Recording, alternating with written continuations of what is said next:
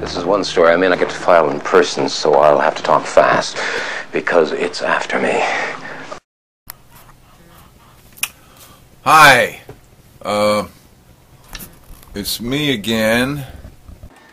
Greetings, me again. You know, if my parents had named me that, I would have probably, I don't know, shot them, sued them, depending on if I lived in Texas or some other state.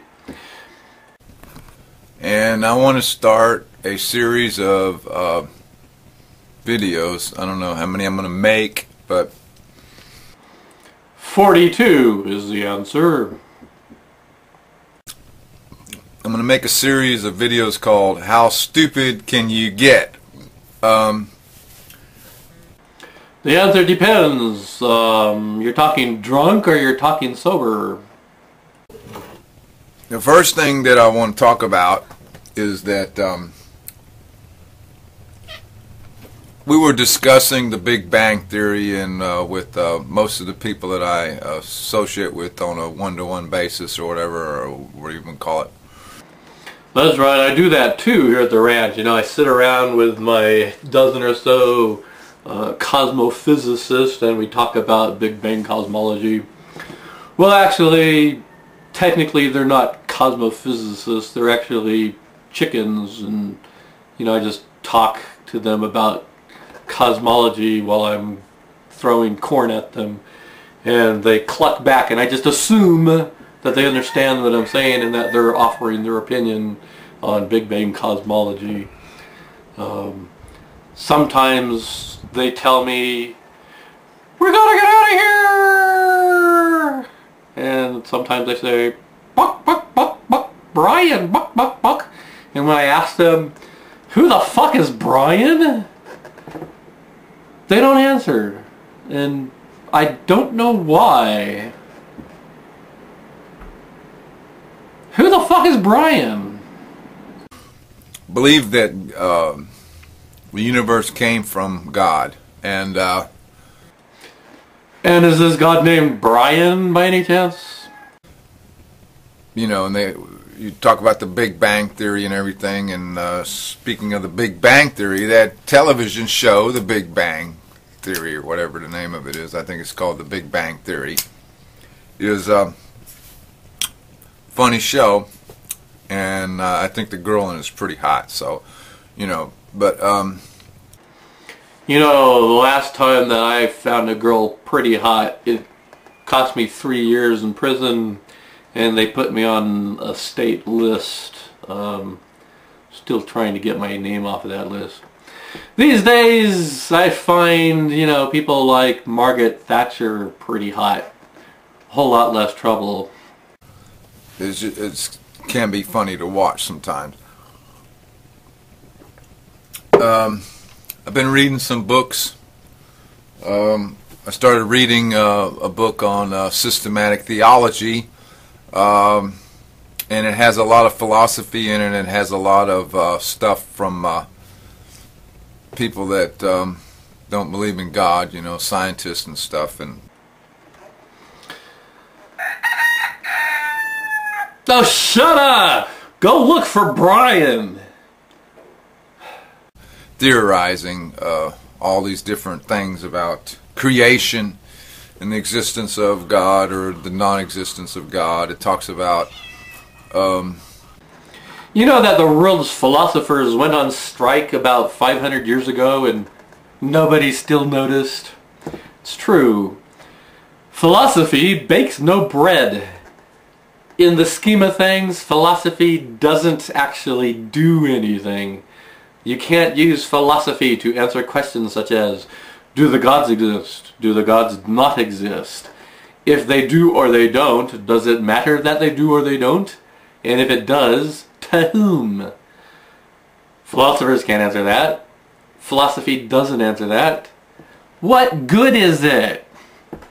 And if I have failed to not insult every single philosopher out there, well, I'm sorry, I tried. the belief that uh, something uh, has to come from something or nothing can come from uh, Nothing can come from nothing or something. So, anyways, um, whether or not nothing can come from not something can come from nothing.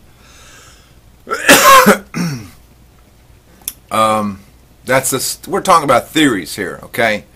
Can not can something come from nothing? One of my favorite obnoxious heroes from the distant past was Bombastus Paracelsus. People would invite him to parties and he would have a drink or two or maybe 20 and then he would stand on a chair and he would bellow out bombastically witticisms that he either came up with or that he'd plagiarized. And one of the witticisms that he was very fond of saying was, the prudent question is one half of wisdom. By prudent, of course, he meant the well thought out, well thought out question.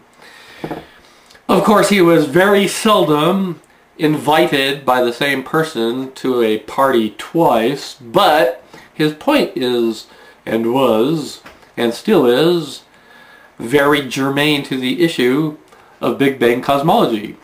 The question is, the valid question is not, can something come from nothing? The prudent question is, was there ever nothing? Some scientists think that it is impossible for there to be nothing. And if I understand the literature correctly, it looks like the majority of scientists out there think that there is impossible, it was and is impossible for nothing to exist.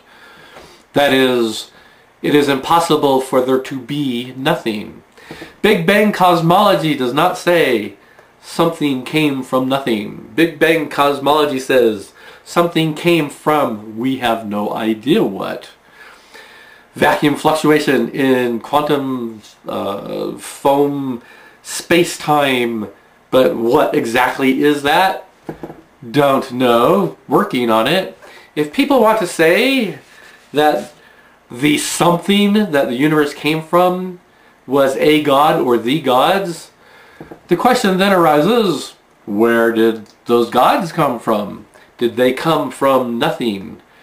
Did they come from something? if they came from something, where did that something come from? As Carl Sagan pointed out many times.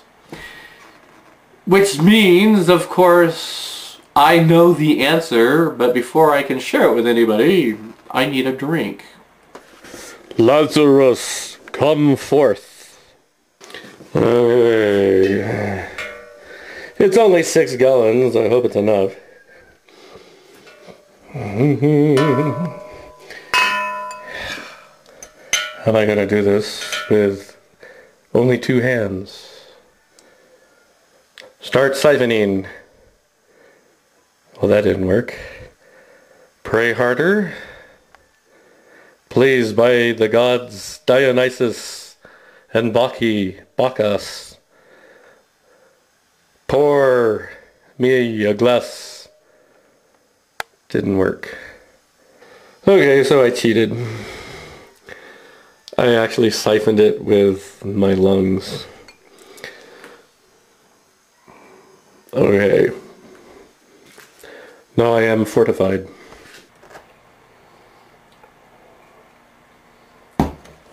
Ah. Who turned out the lights?